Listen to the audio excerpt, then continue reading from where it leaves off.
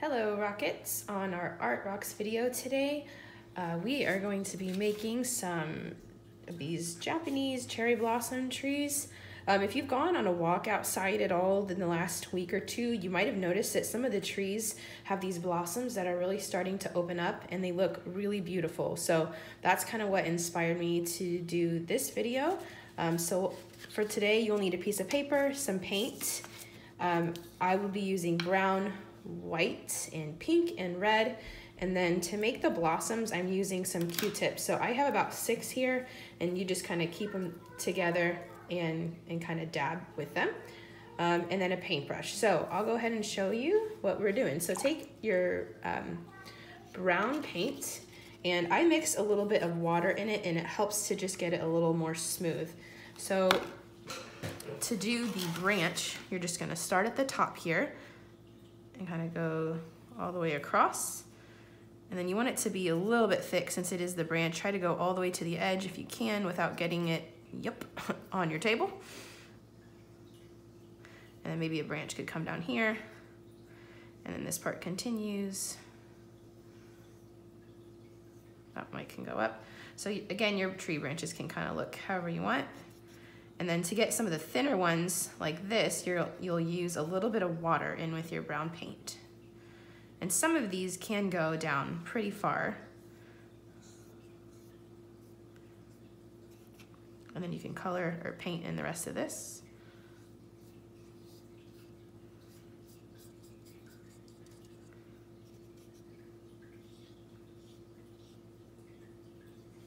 I'm gonna add some branches to the top of my tree here.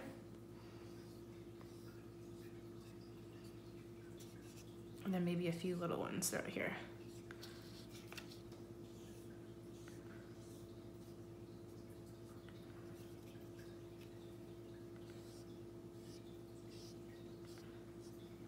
Okay, so this is the part where you might need to wait for your brown to dry a little bit before you go on to the next um, part of it. So I already did one, so mine is a little bit dry.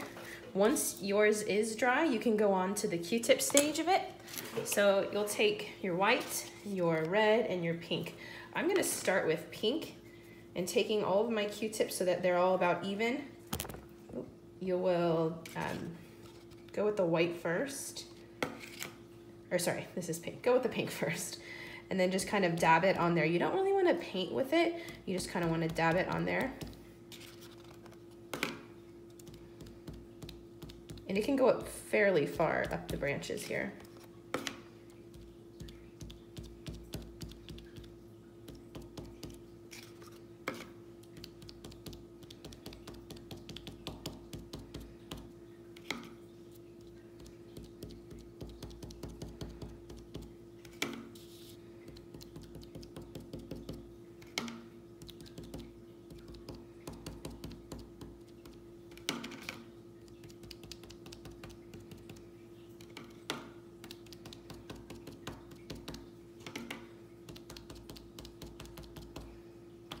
Okay, so once you have most of your pink done, you can take your Q-tips. I wouldn't even necessarily like change size. I'm just gonna keep using the pink and then just dab it into the white and just make a white layer kind of over some of this.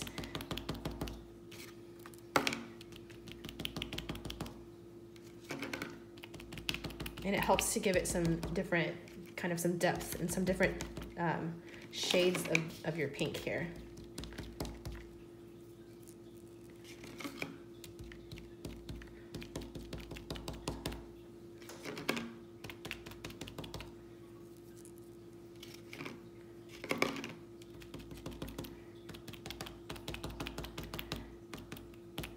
And then I'm gonna take out some of these. I might just use like two little Q-tips for this part, for the red. You can add just uh, some, some red every once in a while here.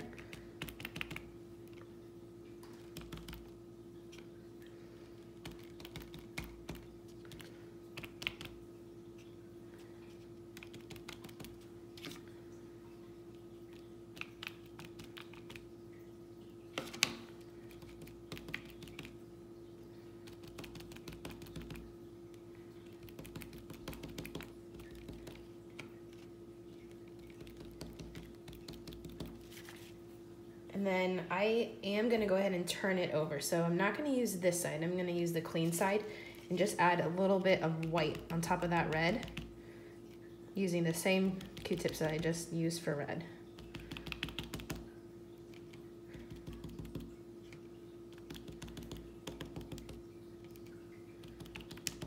It helps just to kind of lighten it up a little bit.